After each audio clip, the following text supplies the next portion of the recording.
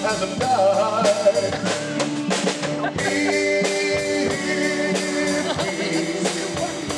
Give me one more chance to keep you satisfied.